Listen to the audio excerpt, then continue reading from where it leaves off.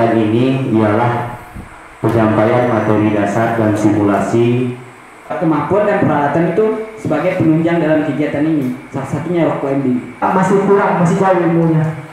Masih jauh, masih.